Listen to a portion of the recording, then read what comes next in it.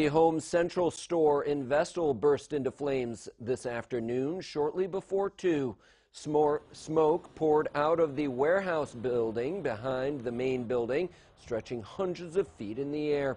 Firefighters from the Vestal Fire Department and other Vestal emergency services were on the scene. Pedestrians looked on at the burning home improvement store located on Stage Road, not far from the rail trail, as smoke continued to billow out of it. As a result, all of Stage Road and one lane of Main Street were closed off. It's not known how the fire started and if there are any injuries.